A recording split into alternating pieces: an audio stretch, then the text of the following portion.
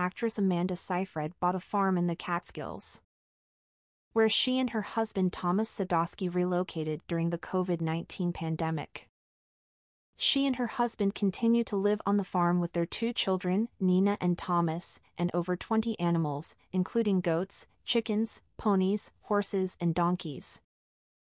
Seyfried told John Molnar on the Molnar's Table podcast in August 2020 she believes the move strengthened their marriage.